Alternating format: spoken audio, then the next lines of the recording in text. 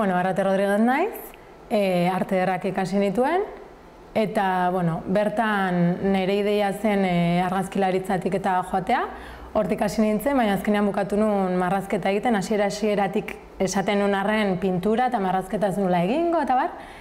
Eta, bueno, ba, kuriosoa irutzen zai gaur egun nola ilustraziotik ikusten duten askoz gehiago nere bidea, ez? Argazkintza dukat oso aztuta.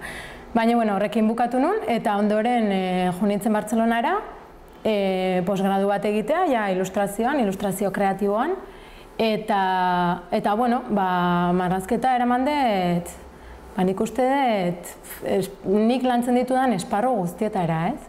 Gaur egun baita ere kuriosa da, zatik e, karreran egon bitartean nahiko urruti ikusten nuen eta txitzaidan bat, bat ere gustatzen e, diseinuaren mundua, baina gaur egun e, zabaldu dugu e, Sabana Estudioa deitzen den diseinu eta ilustrazio estudioa, nire bikotearekin, eta ba, bueno, bertan bai uztartzen ditut ilustrazioa eta diseinua, osa, hasi naiz baita ere diseinatzen eta bar, eta, bueno, oso kontentu nago. Baina bestalde, e, ez dut utzi nahi inoiz, edo nire intentzioa ez da, guztean nire lan pertsonala, ez da?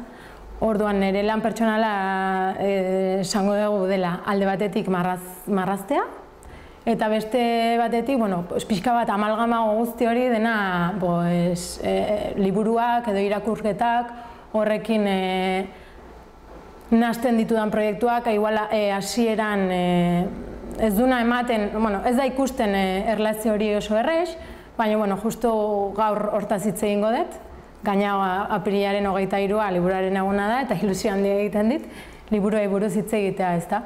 Sortzailea denen edonork bere bizipenetatik abiatuta egiten dula, ez? Sortzen duna naiz eta inventatu naiz eta e, zuk uste, bueno, zuk uste ez dakit hori pixkatu presuntu osoa, ez, baina e, naiz eta zuk pentsatu zurekin ez daukala zer ikusirik nik uste dut, edo nik neregan ikusi dut, e, oso harreman zuzena daukana, daukala norberaren e, biografiarekin, bizipenekin eta eta baita ere izaerarekin, ez? Bora, azkenean zuk pa, bueno, nire kasuan paperean jartzen dezuna edo, zure zati bada, ez? Edo, bueno, bai, ez zure, ez dakit nola, esan, baino, baino bai, mm, ez dakit, eta e, baita ere, honen arira edo, honen naiz pentsatzen, ba, jo, ba, niri nik entzun behar izan, di, behar izan ditut, ba, marrazten detenetik, e, pixka bat e, burla eginez edo, jo, ba, zenbat autoerretratu egiten izkion ere buruari, ez?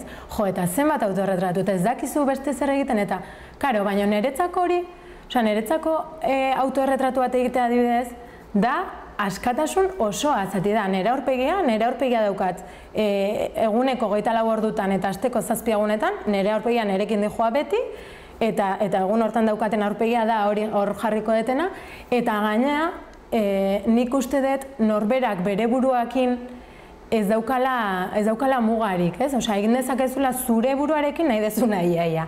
Osea, demonizatu edo dotoretu edo nahi dezuna, ez? Eta azkenean beste norbaitena egitea e, beti errespetu handiagoz edo zoaz. Ez, ez erretratu formarekin, eh? baina ba, bai, orokorrean, ez? Inkluso pelikula bat egingo bat beste pertsona bati buruz edo zuri buruz, nire ustez e, erreztasun handiagoa da dauka zure buruari buruz hitz egiteak.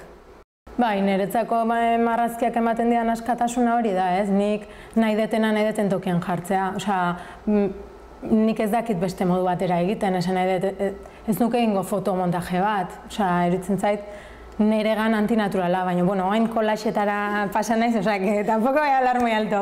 Bueno, niretzako izan da xok, baina xok positiboa, ez? Osea, eman dit kriston bizitasuna hortik antiratzeko baita ere. Igual leno egingo ez nukena, ez? Osea, eta nere sentitzen dut, ja, iritsi naiz puntu batean, unko laxan nere, nere sentitzen dut ere bai.